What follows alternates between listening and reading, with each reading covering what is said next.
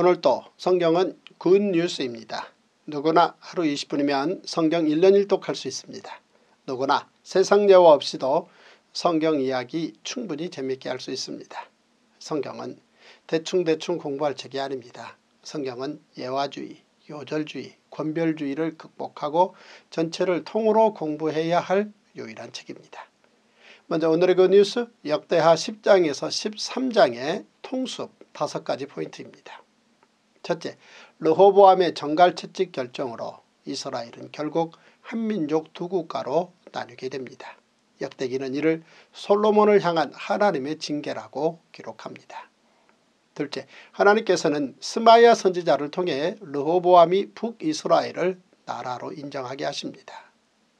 셋째, 이스라엘의 남북 분단 직후 북쪽에 살고 있던 제사장들과 레위지파 사람들과 상당수의 신실한 사람들이 남유다로 내려옵니다. 넷째, 등국 초기에 기세 등등했던 솔로몬의 아들 르호보암은 남북 분단 후 애굽의 침략까지 받은 초라한 왕이 됩니다. 다섯째, 한민족 두 국가로 나뉜 이스라엘은 르호보암과 여로보암에 이어 르호보암의 아들 아비아와 여로보암이 서로 전쟁을 합니다. 성경은 소리내어 읽을 만한 유일한 책입니다. 여러분들도 저와 함께 역사순 1년 1독 통독 성경으로 오늘의 굿뉴스 역대하 10장에서 13장을 함께 소리내어 읽겠습니다.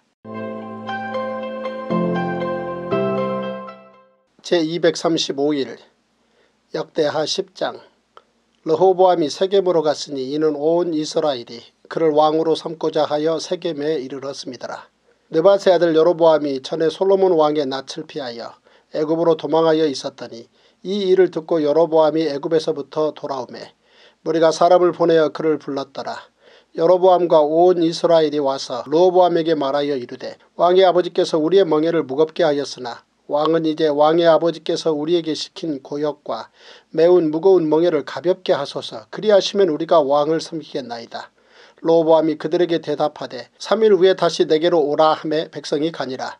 로보암 왕이 그의 아버지 솔로몬의 생전에 그 앞에 모셨던 원로들과 의논하여 이르되 너희는 이 백성에게 어떻게 대답하도록 권고하겠느냐 하니 그들이 대답하여 이르되 왕이 만일 이 백성을 후대하여 기쁘게 하고 선한 말을 하시면 그들이 영원히 왕의 종이 되리이다 하나 왕은 원로들이 가르치는 것을 버리고 그 앞에 모시고 있는 자기와 함께 자라난 젊은 신하들과 의논하여 이르되 너희는 이 백성에게 어떻게 대답하도록 권고하겠느냐 백성이 내게 말하기를 왕의 아버지께서 우리에게 매운 멍에를 가볍게 하라 하였느니라 하니 함께 자라난 젊은 신하들이 왕께 말하여 이르되 이 백성들이 왕께 아뢰기를 왕의 아버지께서 우리의 멍에를 무겁게 하였으나 왕은 우리를 위하여 가볍게 하라 하였은즉 왕은 대답하시기를 내 새끼손가락이 내 아버지의 허리보다 굵으니 내 아버지가 너희에게 무거운 멍에를 매게 하였으나 이제 나는 너희의 멍에를 더욱 무겁게 할지라.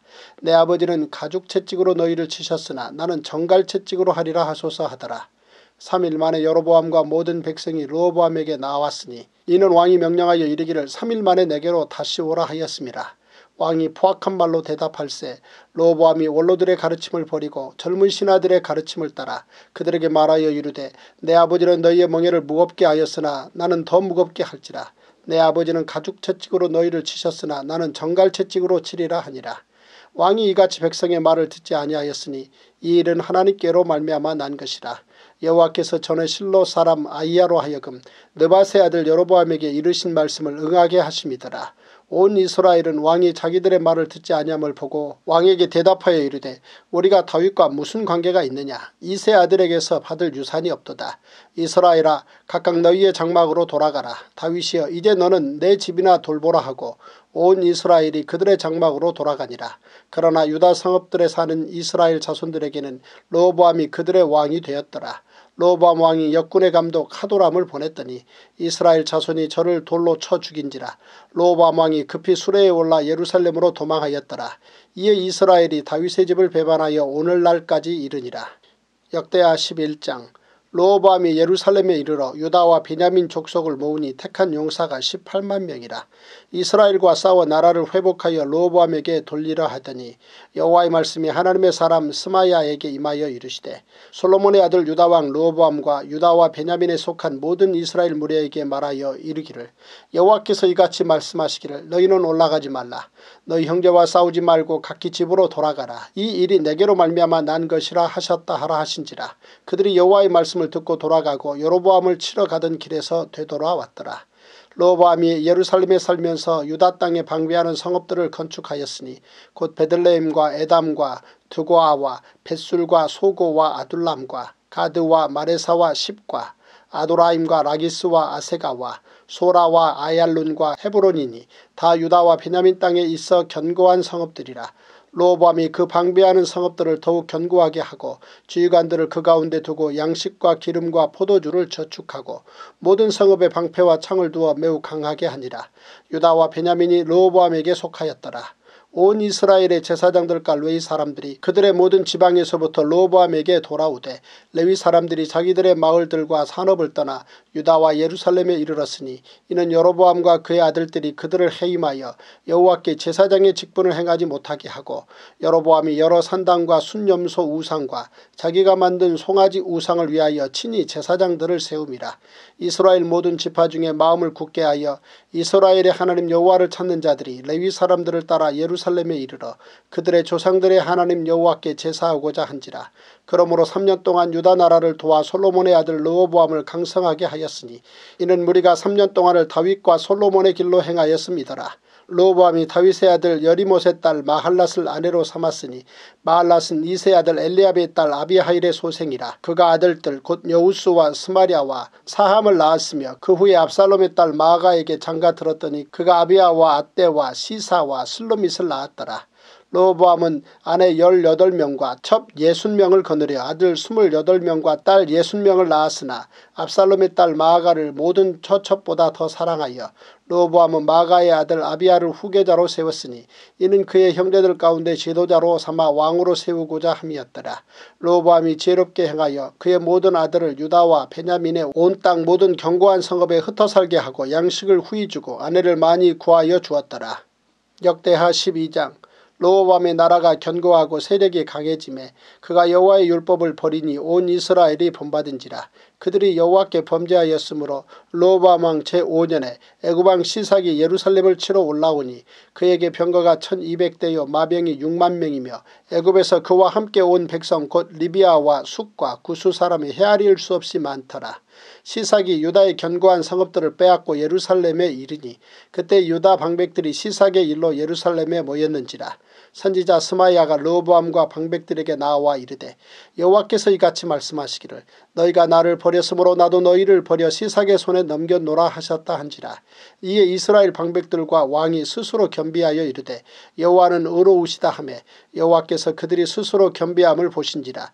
여호와의 말씀이 스마야에게 임하여 이르시되 그들이 스스로 겸비하였으니 내가 멸하지 아니하고 저희를 조금 구원하여 나의 노를 시삭의 손을 통하여 예루살렘에 쏟지 아니하리라.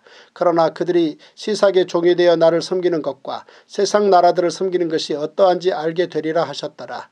애굽 왕 시삭이 올라와서 예루살렘을 치고 여호와의 전 보물과 왕궁의 보물을 모두 빼앗고 솔로몬이 만든 금 방패도 빼앗은지라. 르호보암 왕이 그 대신에 놋으로 방패를 만들어 궁문을 지키는 경호 책임자들의 손에 맡기매 왕이 여호와의 전에 들어갈 때마다 경호하는 자가 그 방패를 들고 갔다가 경호실로 도로 가져갔더라. 르호보암이 스스로 겸비하였고 유다에 선한 일도 있으므로 여호와께서 노를 돌이키사 다 멸하지 아니하셨더라. 로밤 왕은 예루살렘에서 스스로 세력을 굳게 하여 다스리니라. 로밤이 왕위에 오를 때 나이가 41세라. 예루살렘 곧 여호와께서 이스라엘의 모든 지파 중에서 택하여 그의 이름 이름을 두신 성에서 17년 동안 다스리니라. 로보암의 어머니의 이름은 나아마요 암몬 여인이더라. 로보암이 악을 행하였으니 이는 그가 여호와를 구하는 마음을 굳게 하지 아니함이었더라. 로보암의 처음부터 끝까지의 행적은 선지자 스마야와 선견자 이또의 족보책에 기록되지 아니하였느냐. 로보암과 여로보암 사이에 항상 전쟁이 있으니라. 로보암이 그의 조상들과 함께 누움에 다윗성에 장사되고 그의 아들 아비아가 그를 대신하여 왕이 되니라. 역대하 13장 여로보암 왕 18째 해에 아비아가 유다의 왕이 되고 예루살렘에서 3년 동안 다스리니라. 그의 어머니의 이름은 미가야요 기부아 사람 우리엘의 딸이더라. 아비아가 여로보암과 더불어 싸울세 아비아는 싸움에 용감한 군사 40만 명을 택하여 싸움을 준비하였고 여로보암은 큰 용사 80만 명을 택하여 그와 대진한지라.